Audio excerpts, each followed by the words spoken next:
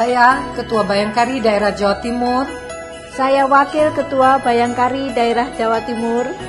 Kami, Bayangkari Pengurus Daerah dan Pengurus Yayasan Kemala Bayangkari Daerah Jawa Timur, mengucapkan Selamat Hari Natal, semoga sukacita Natal membawa kedamaian bagi kita sekalian.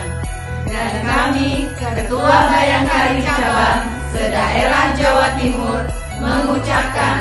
Selamat Tahun Baru 2018.